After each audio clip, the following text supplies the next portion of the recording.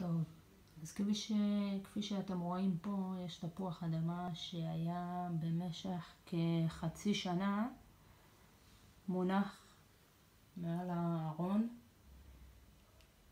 אה, וזה מה שקרה לו. בלי שום מים, בלי שום כלום. יש פה משהו מדהים שקרה לתפוח אדמה.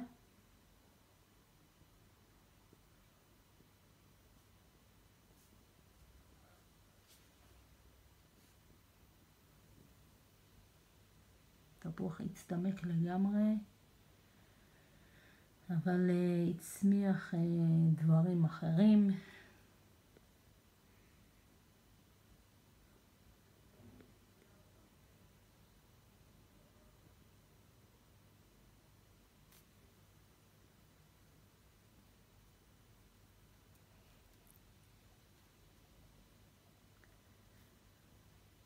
אה, זה התפוח.